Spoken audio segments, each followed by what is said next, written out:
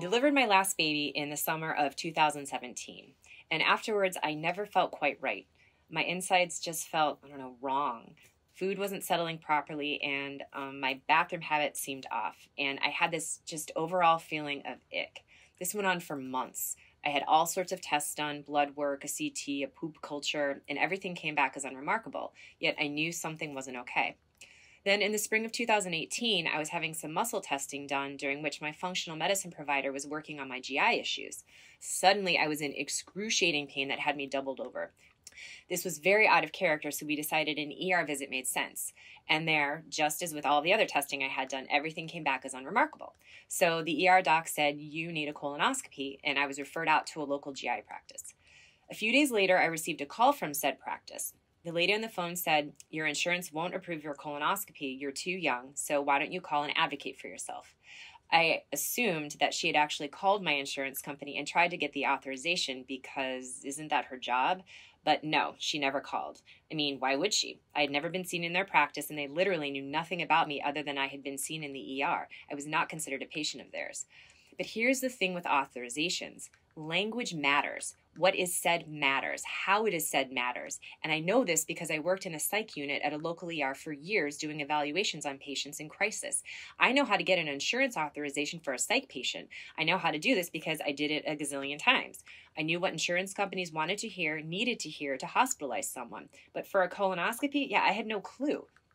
So I called my insurance company and explained what had happened, and I added in that my father died from colon cancer, but none of that mattered my symptoms weren't bad enough. And there's this weird 10 year rule, which means that an immediate family member can only get approved for a colonoscopy when they are 10 years younger than the family member was when he or she was diagnosed. My father was 68 at the time of his diagnosis, and I was still a long way from being 58. So, because of this, I would have had to pay a whole bunch of money, well over a $1,000, to have it done. And since the doctor's office was totally uninvolved at this point, and I didn't have that kind of money on hand, and since nobody seemed overly concerned, I reluctantly figured, hoped that I'd be okay. So, fast forward to January 2019. I started to notice more unusual bathroom behavior. Now, remember, we are talking about rectal cancer, and poop is the thing here, so it'll be kind of gross from time to time. And now is one of those times, so get ready. So, I started noticing blood. Not a ton of blood, but definitely blood, bright red. But it wasn't all the time. And I remember my mother telling me that bright red blood in the toilet wasn't something to ever be concerned about because it just meant that you maybe had to push too hard or that there was a hemorrhoid. When blood in your poop was a concern was if it was black inside the poop. Not really sure how you could see that, but she said it was a thing. And that was clearly not what was going on. Plus, I had had hemorrhoids with my first pregnancy, so I figured it was related to that. By May of that year, my poop was bloody more often than it wasn't. And I started to see this gross, oily looking stuff. And I had started to not feel well, but not just inside my belly. I started to feel super tired and fatigued all the time. And I began to realize that I was no longer able to eat certain foods without feeling really sick afterwards. So I figured that maybe it was time for me to see my PCP again. My regular PCP, who had never ordered a colonoscopy, even with all of my GI distress and family history, was out that day, so I saw a substitute. Within seconds of hearing my symptoms and my family history, she said, You need a colonoscopy and you need it right away within the next 30 days. So I was referred back out to the same GI practice, only this time they actually scheduled an intake appointment. And just as with my PCP, as soon as they heard my symptoms and my family history, they scheduled a colonoscopy right away. I figured maybe I had colitis or some polyps. I was not overly concerned, but was actually looking forward to getting some answers as to why I'd felt like garbage for so long. So on June 3rd, I was scheduled for my long awaited colonoscopy. I went in, I got into the Johnny, I climbed onto the table. The nurse placed my IV and briefly explained what was going to happen. It was then for the first time that I met the GI guy for about 30 seconds. Then they started the meds and I was out. I remember waking up in this room. Really, it was a huge room with about a gazillion other patients, all separated by curtains. I was super groggy and I really didn't know what was going on. Someone came in, I think, and told me it was okay to get dressed. As I was struggling to put my shoes on, still really high from all the drugs, the doctor stepped inside my room made of curtains. He stood in the opposite corner from me, as far away from me as he possibly could. He then said, So, we found a three centimeter mass on your rectum. Where would you like to go for oncology?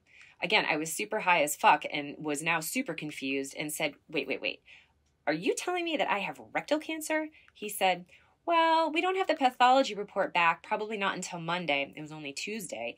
But where would you like to go for oncology? Rhode Island Hospital or Kent Hospital? What the actual fuck?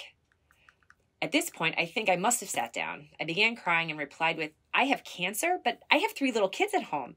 And then I began sobbing. Some nurse was now in the room and said, Would you like me to get your support person?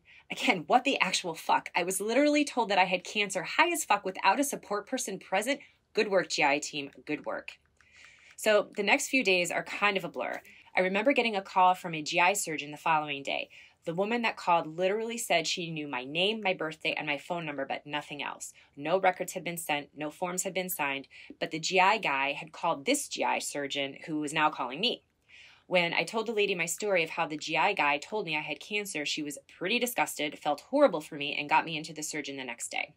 This was my introduction to Dr. Vries, the man who knows my insides better than just about anyone else except maybe my OB.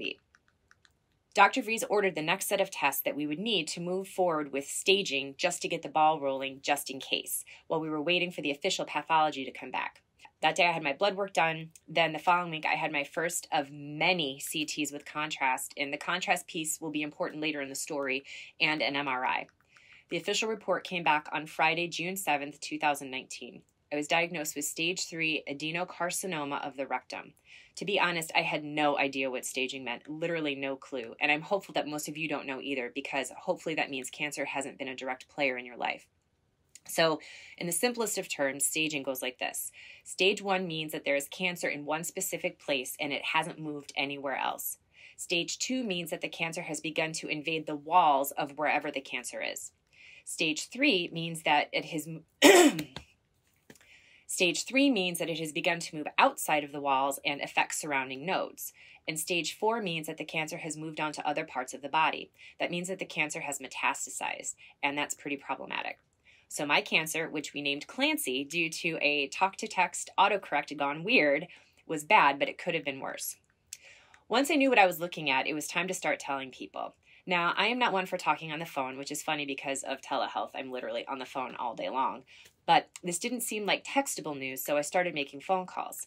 And when someone that never calls actually does, guess who picks up? Everyone, because they knew something bad was up. So one by one, I started forming my support. so one by one, I started forming my support team.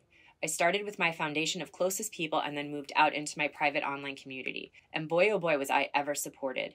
I was supported in a way that I never thought was possible. And these people were amazing. It was truly overwhelming to be the recipient of so much love. It will forever make me smile. The last person I had to tell was my oldest child, and he was the only one that would really get it out of my kids. The other two were just too little, and that's where we will start next week. And just as a reminder, the whole reason I'm starting to share my story is in an attempt to teach anyone that will listen that it is always possible to mine your light, even when things suck, even when you are supporting someone with cancer, even when you have cancer. So please mine your light for yourself, mine your light for those you love, mine your light to help raise the vibration of the world. Because you, yes, you deserve to feel the warmth and enveloping love that mining light creates.